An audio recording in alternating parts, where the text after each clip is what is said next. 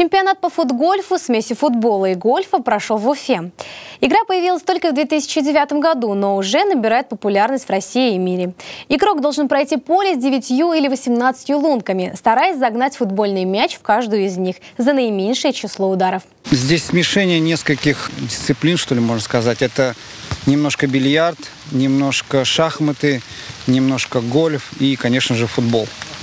И вот такой симбиоз, он как бы рождает такую интересную игру. Это на первый взгляд кажется, что вроде что-то как-то они там непонятно куда-то бьют, зачем-то закатывают на первый взгляд. Но мы тоже так сперва думали, а потом, когда начали играть, это реально действительно очень азартно. Сформировавшаяся команда есть, да, где-то, я думаю, что 5-6 игроков, которые более-менее уже так стабильно ходят и стабильные результаты. В прошлом году мы в октябре месяце ездили в Москву. Там прошел турнир с участием четырех городов. Это был Крым, Москва, Питер и Уфа.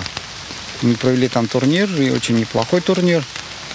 Поэтому я думаю, что очень большое будущее этого вида спорта на сегодняшний день. 10 городов входят в состав этой федерации. И сейчас еще постепенно добавляются другие города. В планах у организаторов распространить футгольф по всей России, развить федерацию и получить статус отдельного вида спорта.